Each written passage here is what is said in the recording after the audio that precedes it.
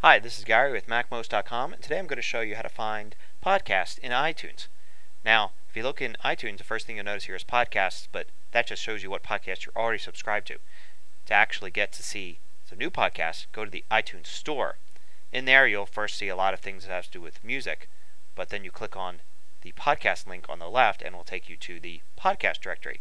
And this is a directory of podcasts that have been picked by Apple. Uh, there's a whole bunch of different categories and featured items on the front page. But in addition to that, you can also go ahead and click on a category to the left to go directly to a category like, say, technology. And there'll be more featured podcasts and a top 10 list. There's lots of podcasts to look through. And sometimes it can be very hard and confusing to find what you want. Uh, one thing you can actually do is you can go ahead and search.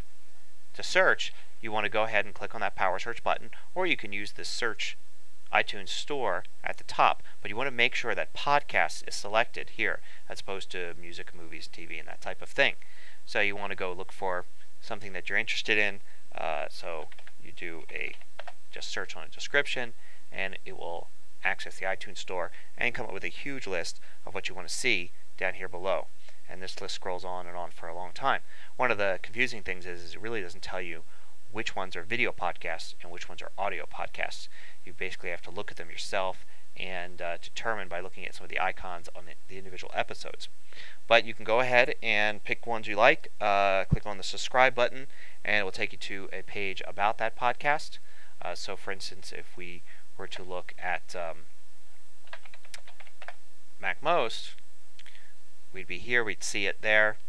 We could go ahead and click on the arrow there to see out of the episodes you can see that it is a video podcast.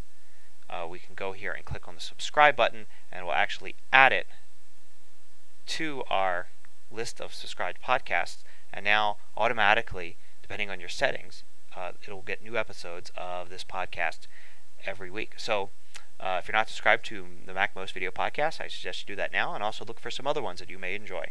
This has been Gary with MacMost.com.